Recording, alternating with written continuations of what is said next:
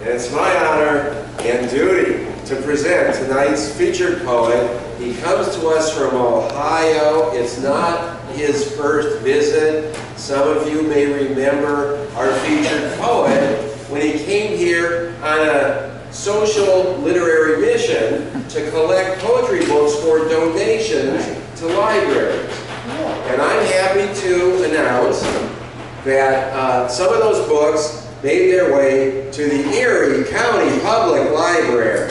Yeah. Yeah, how about that? Thanks to our featured poet, He's here tonight to share his poetry. Ryan, you'll explain the book stand too. I sure will. also A publisher, at least recently. Ryan, come on up here. Let's hear it for Ryan G.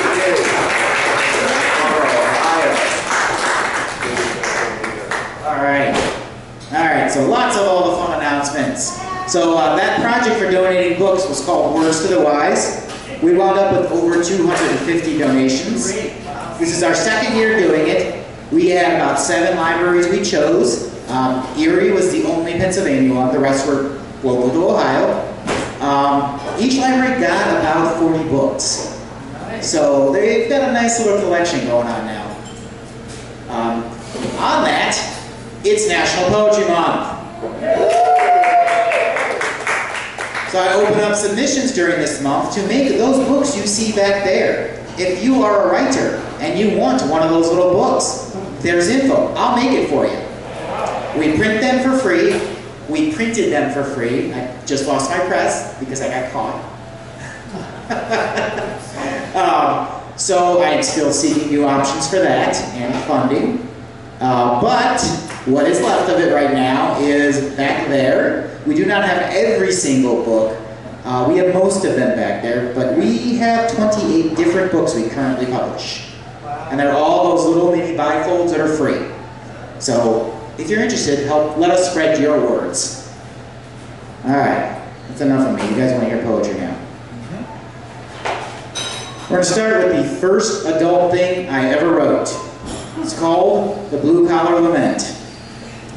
I spend most of my week in a semi-conscious trance, watching multi-billion dollar machines work. They are more alive than I am. Monday at 3 p.m., I click off my brain, switch on automatic, and begin the countdown. T-minus 40 hours. Each minute that ticks by and the dull monotony slowly steals my sanity bit by bit. The vampire conglomerate that signs my check robs you my youth, intelligence, and vitality until I am just another mindless automaton. These walls are masters of time. Each minute closer to Friday gets slower and slower until on Friday they seem to tick backwards. Then, on Monday, the entirety of the previous week repeats. Each day blurs into the other, making them indistinguishable. The dictator they put in charge of the asylum barks out commands on cue, just to remind everyone that they own you. All the while, he never realizes that he's just another puppet dancing for them, only his strings are shorter. When they inevitably cut them, he has further to fall. I often welcome sleepwalking through most of the week. In the few instances the machines malfunction, I curse being awakened. At least, as a zombie, I don't feel my mind rotting. I live on the weekends. I shed the identity the uniform has forced upon me, and my true self emerges. On the weekends, I love life. I achieve the goals I value, not the hazy path set before me by the corporation that owns my soul. For two days, the dungeon master gives me a reprieve from my incarceration. Upon clocking out each Friday, I suddenly feel rejuvenated, while Sunday night, I begin dreading the impending coma. The desperation for dollars are the shackles that keep me here. I'm only truly living two days a week and dying the other five. I've made a pact with the devil, five sevenths of my life for weekly pittance. Until the decay of my body matches that of my brain, I return weekly to mind-numbing tedium, the memory of my weakened existence fading into the background. So this was written in 2008 while I was on the job. of course, it was uh, organized into sensibility on a weekend. They caught this once too in a printer at that job. you know how I classified it? I looked at the, my, the plant manager and said, uh, let me guess, after work you go home, you have a drink, you relax, right? Right. Yeah, this is what I do. All right, being that it's National Poetry Month, you guys get a little reprieve from just hearing all my own work. I'm going to share a few other people's works that are in some of those fancy little books you see over there. So this is the Analog Kingdom. It was an art book uh, meant to accompany a sculpture that was a throne made out of working TVs. It is not in this book, but the cross made out of them that predates it is in here. So some of you might remember Josh Romig. He's one of their published writers. This is TRNT. The revolution will not be televised. The revolution will not be televised. The revolution will not be televised. The revolution will be live. The revolution will be streaming through your Windows, laptops, and smartphones. The revolution will be blogged, tweeted, liked, shared, reblogged, retweeted, and stumbled upon in between midnight masturbation sessions, sandwiched between funny cat memes. The, re the resolution will be HD. The evolution will be high speed. The whistles will be blown out with frequency. The revolution will be commented on, scrutinized, vandalized, scandalized, stylized, and advertised. People will pay attention. People will forget to mention that some stand up, occupy, riot, and die. The revolution will not be televised. The revolution will be streaming live through the filter of your choice. The facts will be democratized, the democracy will be corporatized. The corporations will be personified. People objectified, spied on, villainized. The powers that be will lie, deny, and try to justify. The people will be disenfranchised. Prisons will be privatized. Death drones will be utilized. No one will bat an eye. Because revolution will be multiplied, oversimplified, the violence normalized, lies sacrificed to satiate the golden calf's appetite. The revolution will not be televised, but Jerry Springer will. Go figure.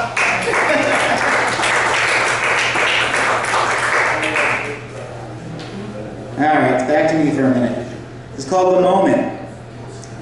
The Japanese girl sits quietly on the pier, gazing out over the water. Her silent and knowing glance says more than either of our languages could ever comprehend. She is beautiful in her hopelessness, hopelessness, and I, dumbstruck in awe of a peace I will never know. She sits behind me squawking with an adolescent banter that must seem dire. Her intensity of voice speaks the same thing I had secretly wished for years but been too afraid to say. Please, pay attention to me. Speak I did, for the very first time. This awkward message of youthful adoration is not exactly communicated articulately. Her only response is, God, I hate you. Please shut up. If I am already taking risks with my life, then I will not be silenced. For once, I will not back down. You love me. You just don't know it yet. We are inexplicably sat on the very edge of the river, the smell of Texas barbecue intensifying our hunger. Half our small group is exhausted proving their technical prowess, while I declare that this most manly of feasts must be a competition to prove our testosterone. Why simply dine in San Antonio when you can challenge your friends to a banquet of sauce-laden meats? I declare that he who finishes least or last must surrender his manhood. The balls are on the table tonight. I awoke early this morning and slipped quietly out of my bunk. My compatriots were still sleeping off a hangover. I pushed open the door, hundreds of years my senior, and witnessed the burgundy sunset of French wine country. Just now, just think, right now, I could be meaninglessly staring at rolling machinery. I placed another valve on the pump and we're hypnotically tightening down. The sound has become a meditation now. The zen is broken and my radio squeals. The producer has just jumped on the air. The World Trade Center is on fire. I place my wrench slowly down on the table, confused. We all do. We all are. In a half an hour, we will all be sitting around the table, listening to Howard Stern speculate on a horror. We are blinded to the true terror, what this really means, until hours later. Snow continues to flood my windshield as I wind precariously around the bespectacled Alleghenies. The city below, shrouded in the early winter light, looks as though the heavens have finally released the weight of the stars to the ground. As I marvel at this, a twinge of fear arises. I may not find shelter tonight. Nonetheless, the road levels out and an exit is offered as salvation. In the midst of planned itineraries, sightseeing, and tourist attractions, I had lost track of time. I am resigned to sleep the night in a Walmart parking lot. When I pull up the exit, however, I am pleased to see the welcoming glow of a mall. There, I discovered an establishment long since lost to the ether of my youth. As I sit there eating the 10,000 calorie hot dog, I ponder.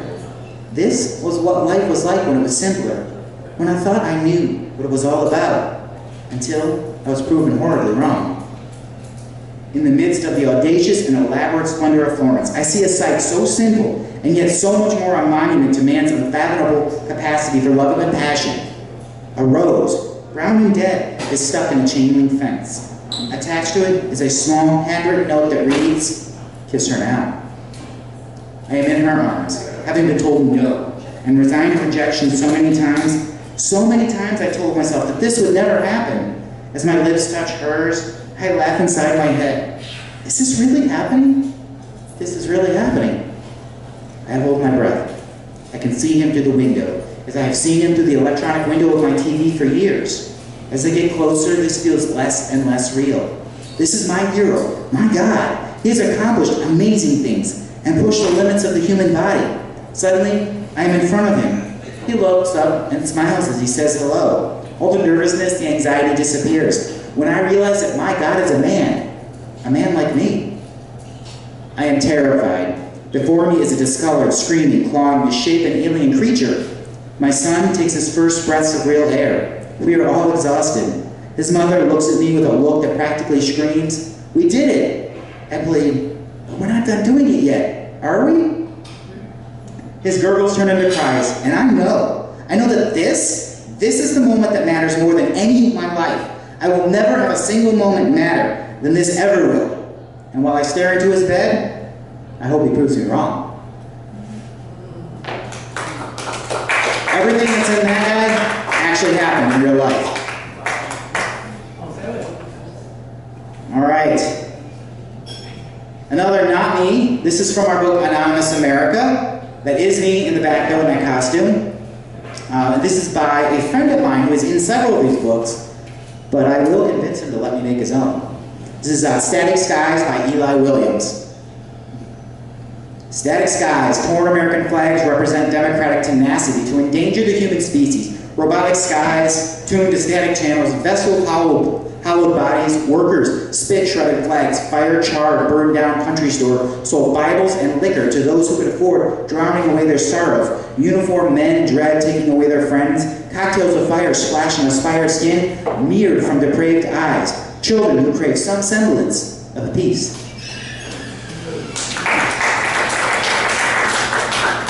All right. This is one of the few over there that's all me. So I'm gonna give you a little story on this one. This one is more prose. It's called Snow Day. Motherfucking damn it. The car is stuck. Forward or reverse, tires just spin, taunting me. White powder, fluffy on top, from thick and heavy at the bottom is piled above my hood. This fucking thing's not going anywhere. Now what? Another of Ohio's freak snowstorms in April Winter's one last fuck you, a send-off reminding us that he'll be back. My Cavalier is no match for several feet of snow, and I'm stuck two miles from home. I don't usually mind the winter. I like the variety.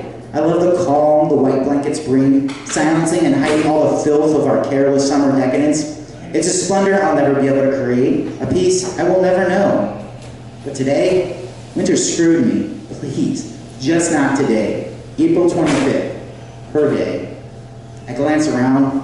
I left my phone at home too. I didn't want to hear from anyone, no one telling me it'll be okay. I have to get out of here. I can't sit here. Winter's trying to stop me, slow me down. Nothing stops me, catches me. If I stop, I think. The cold catches up with me. I catch up with myself. I click on the flashers. I guess I'm walking. I open the door and immediately I'm assaulted by a frigid gust. I crunch into the snow and realize water resistant does not mean waterproof. I close the door with a loud thud, look ahead, and resign myself to a miserable walk, hoping that the anger flush in my face keeps me warm. I begin walking one step at a time. My head is cast to the ground. Each time I try to look up, my head gets knocked right back down. My, my mind wanders to the scheduled routine of the day. I'm not making it to work. I look back at my car. The door I just slammed is already buried. In a few minutes, all that will be left is a couple of blinking lights fading into the background. I remember how much I used to love snow days as a kid.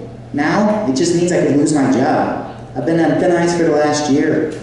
My work has suffered. My heart's not in it anymore. My heart's not in anything anymore. I just don't care.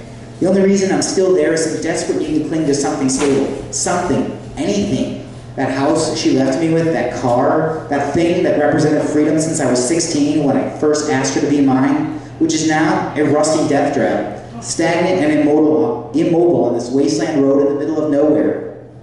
Who wouldn't be surprised if my job wasn't already drafting my termination letter? How the hell am I going to pay my mortgage? Or for that car I apparently need? A violent arctic chill hits me in the chest, penetrating my jacket and blowing right through me, trying to rob me of any warmth I have left. Tough luck, you bastard. You won't find much there. I look where I've been again, following the chill with my eyes. My car is long since gone, and memory hidden beneath a curtain of iridescence. My footprints disappear the moment I make them, any, any evidence of my every struggle gone before I can make another move. Before me is an unpainted canvas of nothing, a void so much more ominous than the blackness of night. The white, the light, promises more than it ever has to offer. She's a cool lover who will let you in, expand into your pupils, what you think you are seeing for the very first time. She will explode into your mind and fill you with the euphoria of hope. But it's a lie. She wipes the slate clean and decides, this canvas was never meant to be painted on. At least, not by me. Better to have the black. It might hide all the horrors and fears of childhood, but it's honest. It never offers false, altruistic promises. Sure, it's a mask, but no more than my own face, pretending that it does not crack in the mirror. My steps are getting harder now. Ice has encased my work boots. My toes have long since ceased any feeling. My face stings with every gust. I only inch forward, one foot at a time, with every ounce of my will. Religion says it is in these times when Jesus walks with you, or whatever deity. My footprints vanish before I can make them. I certainly see no others beside me. Even he gave up trying to carry the weight of the world on my shoulders. Atlas shrugged, and all I got were two broken vertebrae. what the hell am I? Why the hell am I still trying? Nothing I do makes any difference. Come and get me now. I'm here, I scream. If Cooper could see me now, his little cockroach would be laughing its ass off at this futile scene. A single tear slides down my cheek, warm and harsh against the bitter cold. I haven't been able to cry since she left, just numb, so cold, void of anything but her. I take a deep breath. That hurts too. I can't remember what it's like not to hurt. I'm still plodding on, one foot in front of the other, one step at a time. Each moment takes an eternity to feel. I should just let go and fall. When the fall comes, they'll find an empty car with its lights flashing, and an even emptier person with no light left in him. Why did she do this to me? Why the fuck am I always alone? Why am I so fucking cold? A salty torrent begins to burn my face. Mucus slides into a week's worth of stubble. I can't do this. As I say this, feel this, finally feel anything, I slow. The weight in my heart getting heavier with every step. I'm still moving. In the distance, partially shrouded in a cascade of flurries, I begin to make out something of familiarity. My driveway. Behind it, I see my porch and a maroon door. My home finally comes into view, and the lights are still on.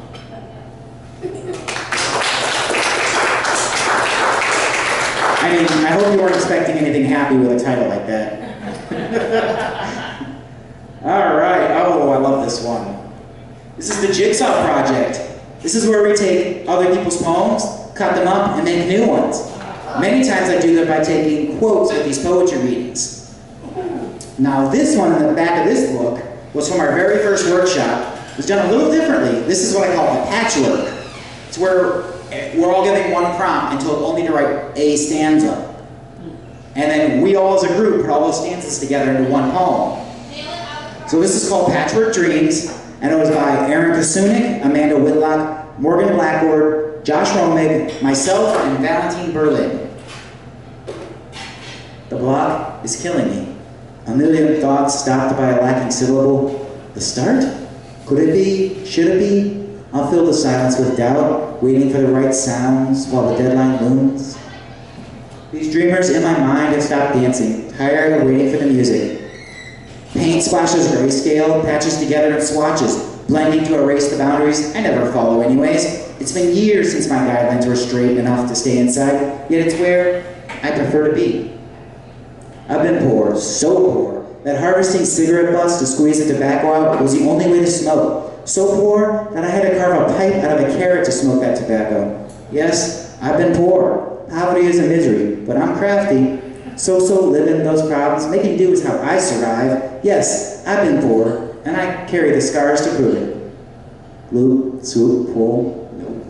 Bloop, swoop, pull, still no. Mom's getting fed up. I'm sorry. I just can't do it. I race through the shop door. The natural light stings my wet eyes, and the chill stops me for an instant. My mother screams behind me, Get the fuck out of here! I am sobbing, finding it difficult to breathe as I choke down mucus and blood. My lip is already starting to swell. Tomorrow, she'll try to bribe my forgiveness with some useless object, another fucking worthless sentiment from a parent who never stopped being a child. So soggy. Everything. The grass, the hay, the sky, and my crotch. Presently soaked in blood. Two periods in one month. Yay for me. Soggy. Everything. Jesus died because I'm a sinner. I'm on my knees for the fifth time this week, trying to find my salvation on this bathroom floor, penetrated by the needle full of bubbling holy light. I'm drunk and so pissed out right now. There is no God. If there was, He would have saved me, or at least given me a bigger dick. Before the arthritis set in, I could grab a dick. They called them handies back then, and I was very accomplished. My grip was magical, and Old Faithful would quietly make a show. I'm as dead as America in the fall. The dead-eyed liberal zombies are coming to knock down the walls of my panic room, picketing my rights. They had half a brain to put down those signs and pick up a gun. It's already past 11. The kids are long since asleep. I quietly stick the key in the lock and try to open the door without the usual creak. I drop my briefcase in the hall and so the weight, the full weight of 70-hour work weeks were stored within. I loosen my tie and walk to the fireplace. There, I spot the kids, dead to the world on the couch, waiting for Santa. He's finally here, as I bend to cite another present under the tree. Memory corrupted, trying to recover, installing, installing, installing the good data, recover the bright, installing, installing, deleting viruses, replace corrupted data, installing, installing, waiting for completion, installing, ready to carry on, installing. I got some dirty friends. Of course, one of those is mine too. All right, I think I might be at my time. You guys want anything else? One more. One more? Was that Chuck who just said that? Oh, good, because the next one's Chuck's. He's the boss. We didn't set that up, right? Not at all. So this is Power of the Powerless. It is the only book I think I don't have back there. We do have digital versions if you're interested, though. This is Wind Power by Chuck Joy. Power Makes them reckless, jocular, mewling babies, tattooed, ignored. The one guy reading a magazine, a blind dog lead a king. How did they get along before us, constantly in the darkness? Unless the powerless is us, the power of consciousness, the power of dance denied to rocks. Even plants can dance.